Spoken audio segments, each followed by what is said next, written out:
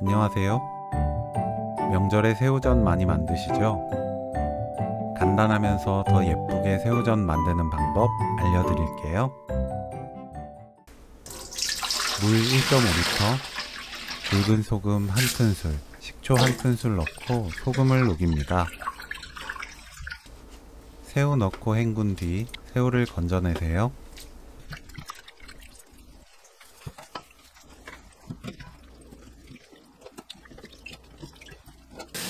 흐르는 물로 가볍게 헹굽니다. 키친타올로 새우 물기를 닦아냅니다. 물기 있는 상태로 사용하면 전 부칠 때 기름이 튀어서 다칠 수 있어요.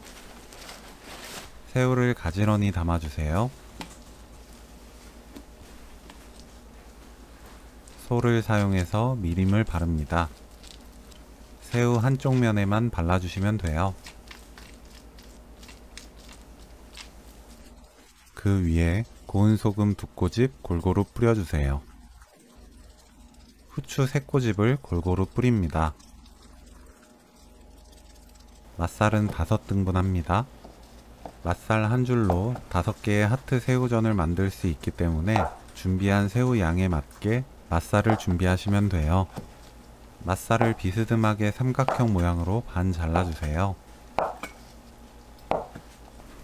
새우 두 마리 꼬리를 이쑤시개로 꽂아서 연결합니다.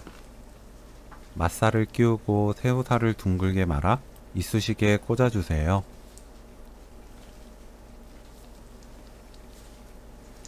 넓은 그릇에 계란을 풀어서 준비합니다.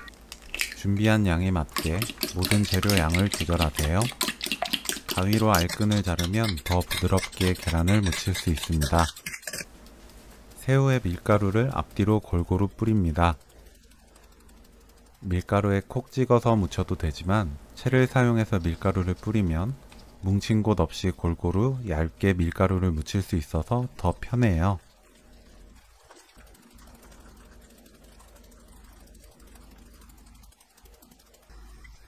팬에 식용유를 두릅니다.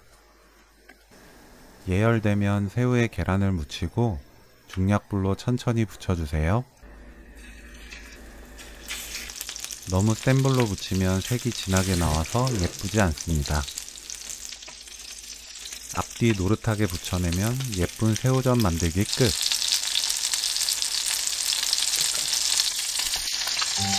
간단하면서 모양까지 예쁜 하트 새우전 레시피는 여기까지. 시청해주셔서 감사합니다. 다음에 또 만나요.